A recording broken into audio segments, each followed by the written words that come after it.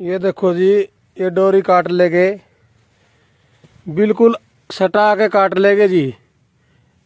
अब मिस्त्री भी एक हज़ार रुपये लेगा ऊपर ले आएँगे। भाइयों, एक बलाती इतनी छोड़ दिया करो, इतना टुकड़ा छोड़ दिया करो, ताकि हम जोड़ तो लगा लें।